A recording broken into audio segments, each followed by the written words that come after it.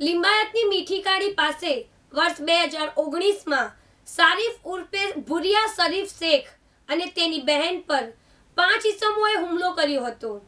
મારામારીની ફરિયાદ પાછી ખેંચવા મુદ્દે હુમલો કરવામાં આવ્યો હતો. જે મામલે પોલીસે સુલતાન ઉર્ફે બાલા હસન ઉર્ફે ચમકી શેખને ઝડપી પાડ્યો છે. લિંબાયત મીઠી ખાડી નજીક રઝા ચોકની હનુમાન શેરીમાં રહેતા શારીફ ઉર્ફે ભુરિયા શરીક શેખ સાથે. ઇમરાન ભત્રીજા સજ્જાદ ઉર્ફે સજ્જુ તેમજ સોસીફા સાહેબ મારામારી થઈ હતી, જે મામલે પોલીસ મથકે ફરિયાદ પણ કરવામાં આવી હતી. આથી મારામારીની ફરિયાદ પાછી ખેંચવા મામલે તેઓની વચ્ચે ઝઘડો થયો હતો, જેમાં તેની બહેન નસરીન બી વચ્ચે પડતા સજાદ ઉર્ફે સજ્જુએ તેને માથામાં લાકડાનો ફટકારો માર્યો હતો. જ્યારે સલમાન લછરીએ સારીફ અને ચપ્પુના ધાર માર્યા હતા. બનાવમાં સમયાંતરે બહેન નસીબ નસરીન બીનું મોત થયું હતું.